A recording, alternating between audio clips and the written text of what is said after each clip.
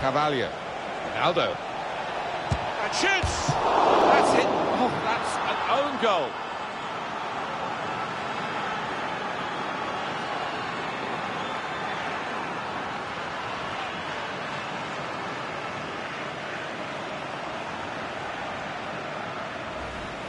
Oh, you have to feel sorry for him. Look at him down there, he's absolutely distraught. Well, the aggregate score, we've had nine goals in the tie, 5-4.